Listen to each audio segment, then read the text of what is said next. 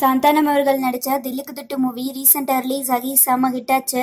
அப் நெக்ஸ்டா சந்தானம் கமிட் ஆகியிருக்க மூவி தான் ஏ ஒன் இந்த மூவியை ஜான்சன் அவர்கள் எழுதி இயக்கியிருக்காரு.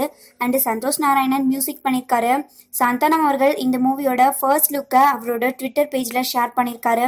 அண்ட் இந்த போஸ்டரில் ஈ ஒன்னுங்கிற டைட்டில் மேலே சந்தானம் அவர்கள் கையில் லேக்கோட போஸ்ட் கொடுத்துட்டு இருக்க மாதிரியான ஒரு ஸ்டில் வந்துட்டே இருக்கு. அண்ட் அந்த டைட்டிலுக்கு கீழேயே அக்யூஸ் நம்பர் ஒன் அப்படின்னு எழுதியிருக்காங்க.